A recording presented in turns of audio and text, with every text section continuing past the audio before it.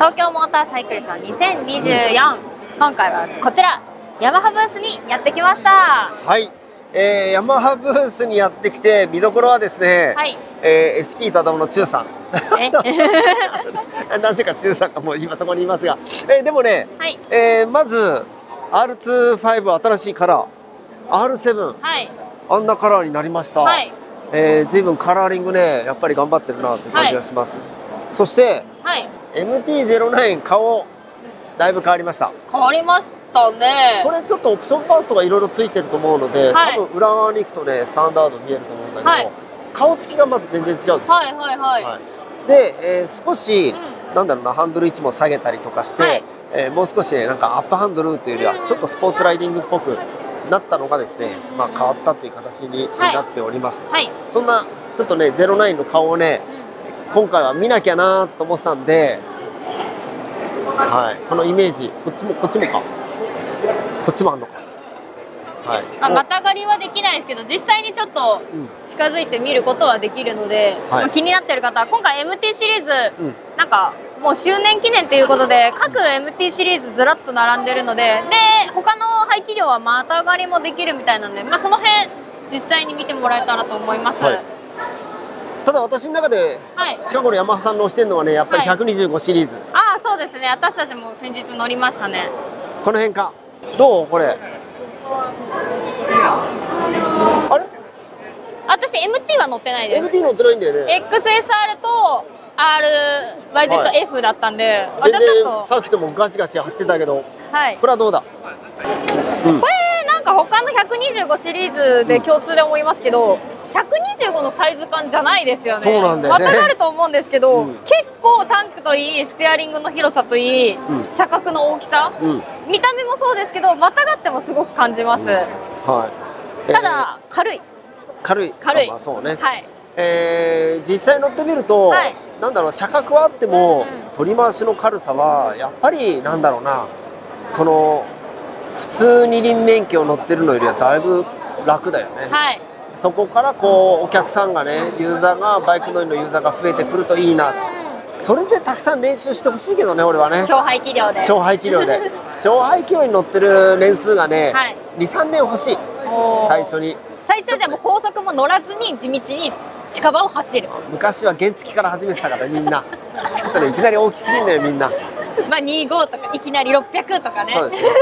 そういった中ではね125のシリーズ、XSR と MT と、そして R125150 とね、随分ラインナップを揃えてくれてるのがヤマハさんです。はい。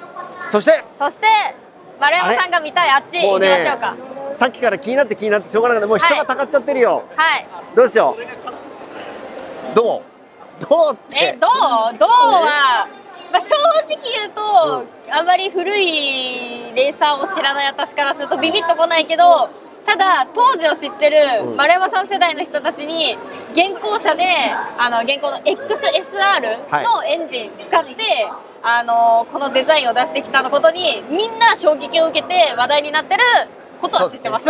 えー、もうね俺的にはね、はい。これにゼッケン4番とか入れてくれると、ケニー・ロバーツとか。走りたい。欲しい。え？欲しい。欲しいというよ走りはもうその時の GP ワールドグランプリはのい。世界観はい。をそのまま出してる、はいあの4ストロークではあるけれどエンジン特性もこう2ストロークのねあのパキンとしたイメージがあるので俺はこれはもうぴったり、はい。えー、ここよ。ゼッケン4番。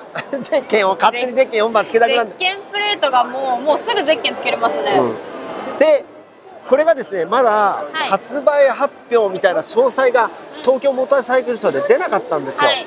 えー今日俺も出てるかなと思ったんですけどね、だけどもう一つ目玉があった。はい。